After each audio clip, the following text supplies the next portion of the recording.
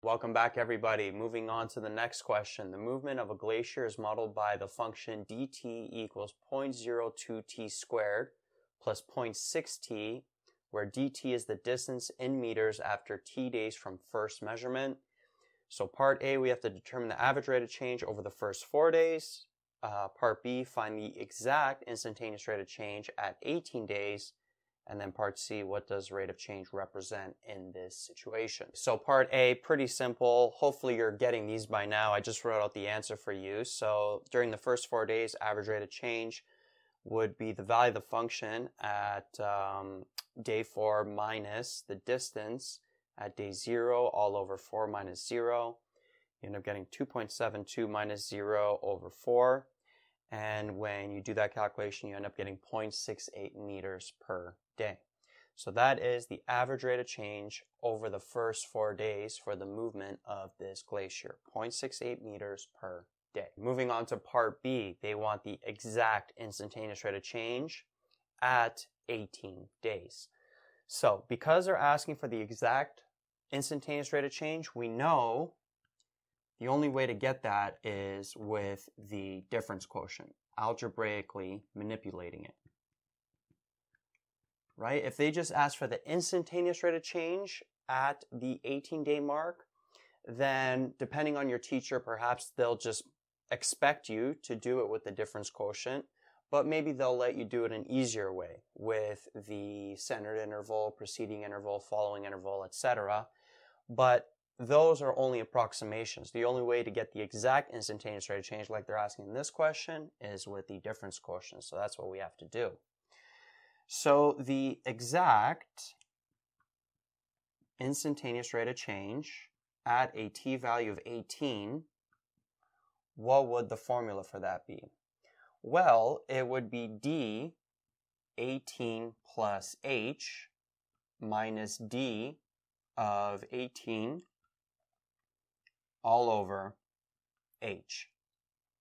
And what we're going to have to do is at the end, we're going to have to find this approximation when h is equal to 0. That would give us the exact instantaneous rate of change.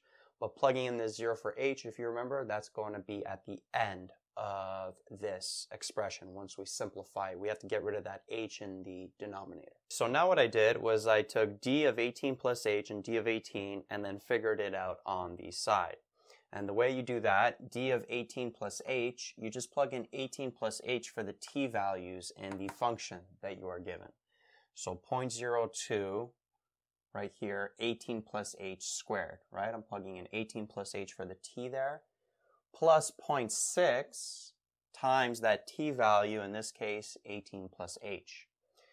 And then you have to simplify all of this, unfortunately. So 18 plus h squared, that would simplify to 324 plus 36h plus h squared. Remember to FOIL it out. And then we can distribute that 0.6 inside the bracket. So 0.6 times 18 is 10.8, 0.6 times h is 0.6h. And then after we FOIL that expression, we could bring in that 0.02, simplify everything, collect like terms, etc., etc. You end up getting 17.2a plus 1.32h plus 1.02h squared. And then this expression, d of 18, a lot more simple. You just plug in 18 for t. And when you do that, you end up getting 17.28. so taking all of that, and plugging it back into our difference quotient. So d of 18 plus h, that is this expression here. So that's going to be 17.28 plus 1.32h plus 0.02h squared. And then we're going to subtract d of 18, which is 17.28. And then this is still going to be all over h. Now notice how the 17.28s will cancel out.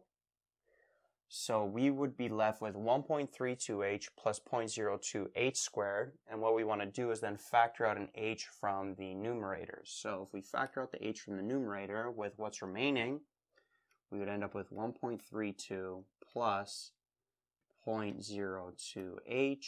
This would still be all over h. Notice now how the h's cancel out. And now we can plug in 0 for h because the h is not in the denominator anymore. So those go away. We're left with this expression in the brackets. When we plug in 0 for h, we're left with 1.32. And that is the exact instantaneous rate of change at the 18 day mark. And don't forget your units. So the distance is in meters and the t is in days. So this is 1.32 meters per day. So that's how fast this glacier is moving at the 18 day mark. And then we can actually answer part C uh, from that explanation. Basically, the rate of change in this situation is how fast the glacier is moving per day. So whether we're finding an average rate of change on an interval or we're finding an exact rate of change at a specific day like we did here in part B, whatever rate of change we're finding, it always represents the movement of the glacier or how fast the glacier is moving per day, and it's always in meters per